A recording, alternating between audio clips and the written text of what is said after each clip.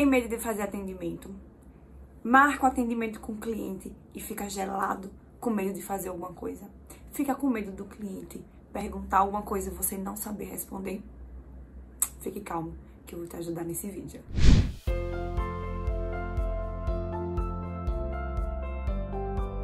E antes da gente falar sobre atendimento ao cliente, corre, vamos lá, vamos dar um like nesse vídeo, ativar o sininho e se você ainda não é inscrito, se inscreve no canal que vem muito vídeo bom por aí. A minha experiência, minha primeira experiência com atendimento ao cliente, ela foi tensa.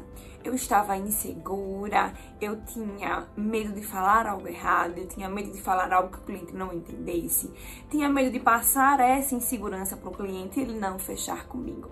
E aí, né, o que foi que eu fiz? Ó, tudo é prática, tudo é experiência e tudo é estudo. Sim, tem como você estudar para fazer um atendimento perfeito, um atendimento de excelência. Tem sim. Primeira coisa que eu digo a vocês e que para mim funcionou bastante foi sempre perguntar ao cliente, sempre questionar ele do que se trata. Por exemplo, João quer fazer uma consultoria, quer fazer uma reunião comigo. Eu vou falar o que para João? Ó, oh, João, do que se trata? Conte para mim mais ou menos resumidamente o que é para que eu entenda melhor a sua dor e João me passa. E aí do que João me passa, eu já vou analisando e eu já vou escrevendo alguns pontos. Isso mesmo. Então você já chega na reunião mais tranquilo. Por quê? Porque você previamente já buscou saber do que se trata aquele processo. E quando começar o atendimento, não queira falar e explicar e mostrar que você sabe todo o assunto do mundo. Não, deixa o cliente falar, porque ali é a vez dele. Deixa o cliente falar, pergunta ao cliente.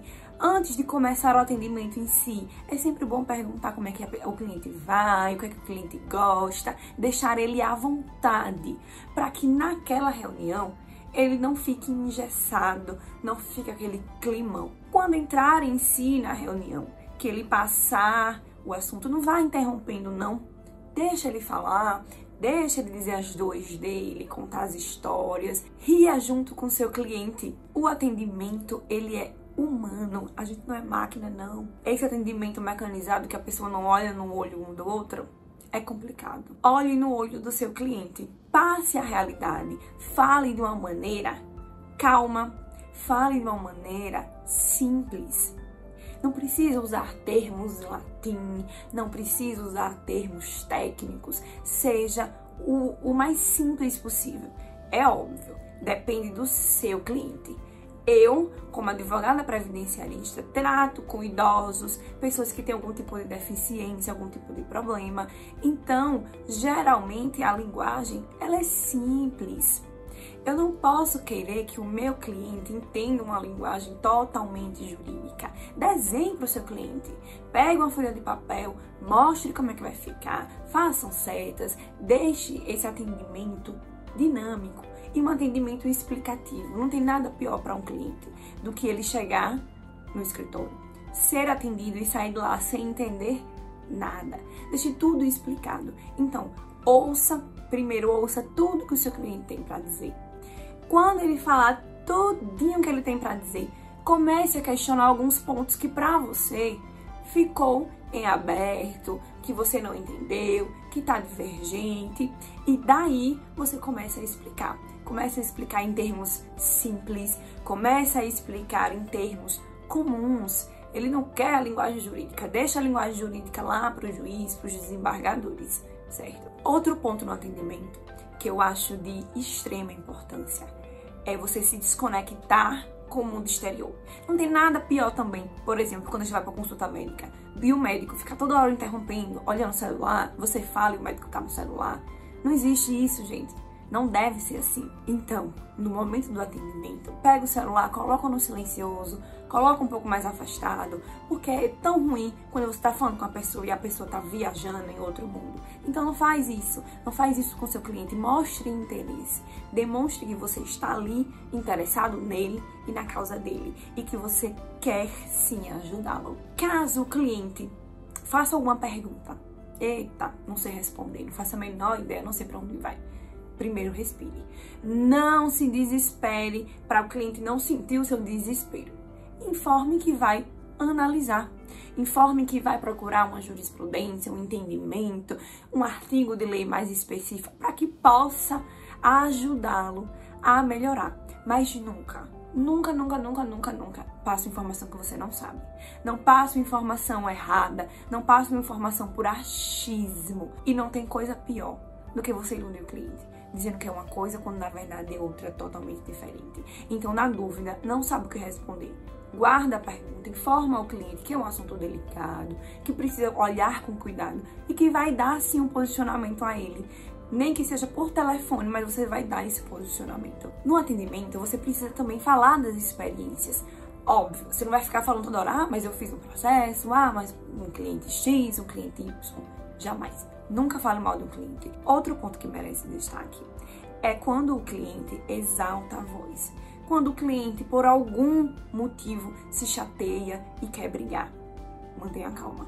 Já aconteceu comigo. E o que você tem que fazer é respirar, manter a calma e ser educado. Seja educado, fale baixo, fale normalmente e peça respeito. Ó, oh, fulano, eu tô tratando o senhor bem, a gente tá aqui conversando, não tem por que o senhor se exaltar. Quer uma aguinha? Pronto. Não precisa brigar, não precisa bater boca. E também você precisa passar um pouco da experiência que você tem pro cliente. E como é que faz isso? Em algum momento da conversa em que o cliente falar de alguma situação, você pode contar: ó, oh, eu tive um cliente, um caso, é, que parecido com isso, que foi feito assim, assim, assado. Então, você não precisa óbvio, toda hora se vangloriar, toda hora falar de outros clientes, certo? Mas é sempre bom deixar subentendido, deixar ali na conversa que você já teve sim experiência com outros clientes e que essas experiências foram bem sucedidas. E por fim, jamais, sob hipótese alguma, fale mal de um cliente para o outro. Quando você está no atendimento, é aquele atendimento, foca naquilo. Foca em passar sua experiência, em falar sobre o caso, em ouvir o cliente. Mas nunca, nunca, nunca, nunca fale mal de outro cliente. E nunca fale mal de outro advogado. Passe sua experiência, fale como advogado, fale como especialista, mas jamais, jamais use experiências ruins com outros clientes ou de outros advogados para mostrar o seu valor. Mostre o seu valor com conhecimento, com técnica. Mostre o seu valor com respeito ao cliente. Respire antes do atendimento. Dê uma lida no assunto do que se trata. Trate o seu cliente bem. Acolha o seu cliente, ouça as dores dele e se coloque disposto a ajudar. E falando em ajudar, aqui embaixo na descrição do vídeo tem o link para vocês acessarem o formulário de atendimento que eu uso lá no escritório. Todo cliente que chega, eu faço aquelas mesmas perguntinhas para que eu possa entender melhor qual é o benefício. Então, se você atua na área previdenciária, já baixa aí e também já corre lá no grupo do Telegram, porque a gente tem uma troca ótima de informações e conhecimentos. Então, um beijão e até o próximo vídeo.